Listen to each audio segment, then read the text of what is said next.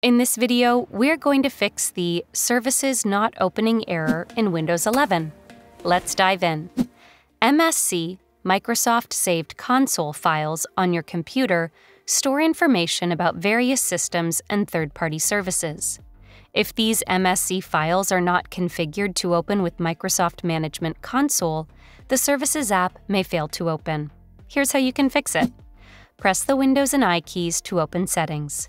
Navigate to the Apps tab and select Default Apps.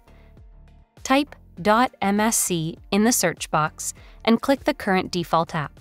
Select Microsoft Management Console and click the Set Default button at the bottom. Now, if you're having trouble opening the Services app from the Start menu, try using Run or Command Prompt instead.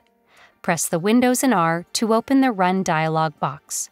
Type services.msc in the box and press Enter.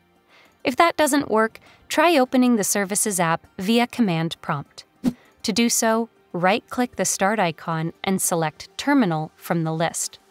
In the console, type services.msc and press Enter to open the Services app.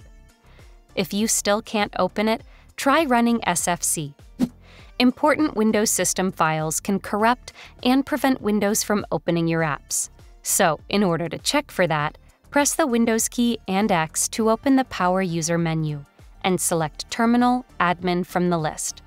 In the console, type the following command and press Enter. After the scan is complete, a message will appear indicating whether or not it found any problems.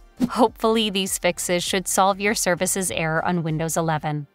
Subscribe to Guiding Tech and delve into one of our specially curated videos just for you.